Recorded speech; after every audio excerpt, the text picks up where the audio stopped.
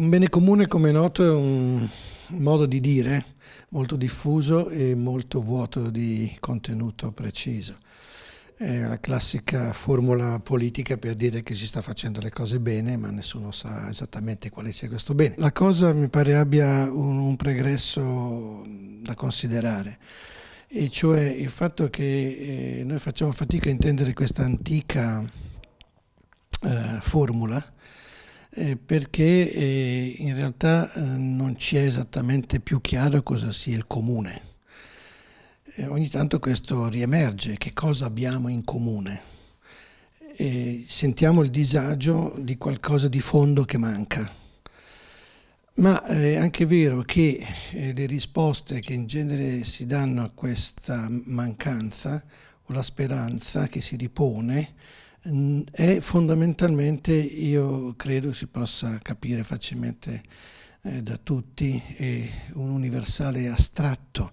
Quando noi diciamo che cosa abbiamo in comune, eh, oggi diciamo beh, la cittadinanza, eh, i diritti umani, eh, la libertà, eh, un regime democratico e via dicendo. Cioè delle mm, cose che hanno la loro evidente importanza, ma che se ci si riflette sono appunto eh, delle eh, procedure fondamentalmente, delle procedure astratte che sono poi riempite inevitabilmente di qualunque contenuto. Allora è chiaro che questo è importante per vivere insieme, certo, ma non può essere il fondamento del vivere insieme. Detto in altri termini, noi siamo ancora figli dell'illuminismo che pensava appunto che eh, mettendo insieme gli uomini per alcuni grandi ideali eh, universalissimi si potesse così fare, realizzare un mondo diverso.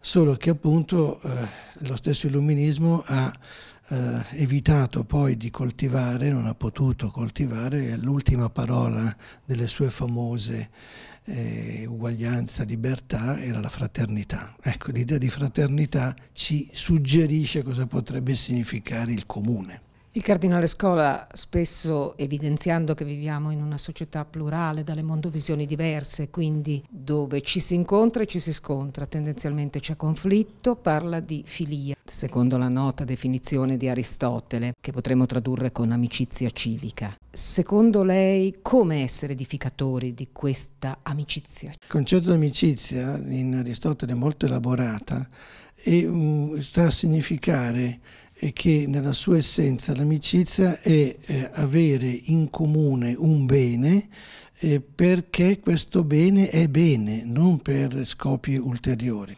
Aristotele oggi ci è anche utile perché non era cristiano, quindi immediatamente non pensava a Dio. Ma che cosa pensava? Pensava mettere insieme le cose migliori della vita, mettere insieme le cose importanti dell'esistenza umana, ciò che fa l'uomo uomo. Ecco, allora eh, su questo naturalmente il dibattito per noi è aperto, però eh, quello che noi sicuramente possiamo recuperare con buon senso e ragionevolezza piena è che se vogliamo eh, non semplicemente coabitare, si può anche coabitare come separati in casa, come si suol dire, ma vogliamo convivere, allora dobbiamo ritenere innanzitutto che sia cosa buona essere insieme. Questo, questo essere insieme ha bisogno di quella vita buona per cui sono stati promossi i dialoghi. Sì, perfetto. Infatti questi dialoghi sono nati, quella iniziativa eh, del Cardinale, esattamente sulla base di una certa amicizia con eh, persone di vario rango e di varia provenienza. Cioè è messa in atto esattamente un'idea, che, come stavamo dicendo, ovvero sulla fiducia di una bontà del eh, essere insieme, cercare le ragioni poi di questo essere insieme, sapendo che queste ragioni sono anche differenti. E allora si tratta di saggiare intanto nella differenza che cosa c'è di comune e quello che non è accomunabile come può convivere. E questa dialettica penso sia quella che eh, può reggere oggi in una, società plurale come quella in cui siamo. L'alternativa è inevitabilmente un fondo di conflitto che prevale su tutto e che una tentazione che la nostra storia del nostro paese conosce abbastanza bene una prospettiva che può diventare di, di guerra civile, cioè dove il civile comune non è più considerato bene. E ne abbiamo un tragico esempio dopo il 1943 e sappiamo bene che cosa può voler dire e questo è il pericolo che anche insidia tutto l'Occidente e l'Europa in particolare.